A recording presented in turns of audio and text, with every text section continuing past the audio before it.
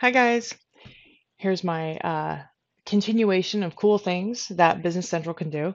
So we were talking about the integration with other Microsoft products, um, and in continuing in this thread, I want to show you the integration with Excel. So in the olden days, um, if you wanted to make a mass change to the system, you had to export the data to Excel using Rapid Starter configuration package, and you had to configure that, export everything, change it, import it, um, and now it's got a lot easier. So what I'm going to do is show you an example with the customer list. Let me just bring up my customers. And in this scenario, we're going to pretend that uh, our salesperson, Peter, is no longer with us.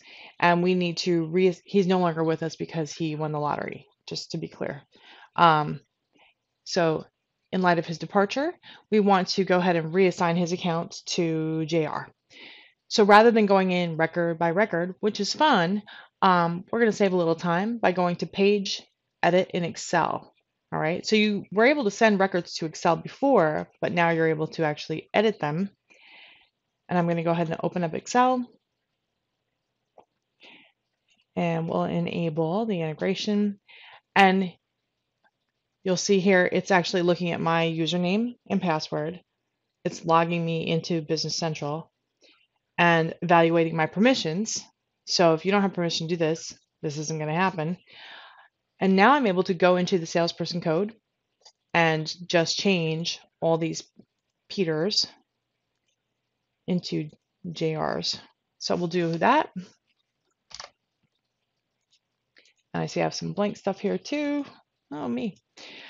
Now, when I'm all done, I can do this publish function. And what it does is it'll go and make this change in Business Central. Of course, it evaluates my permissions and it does validations.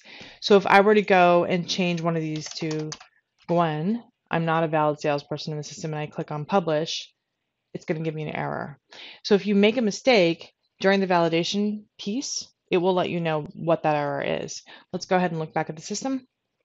And I'm just going to press F5 to refresh my screen. I'm going to press F5 this time. And there we go. The salesperson code changes for all the records.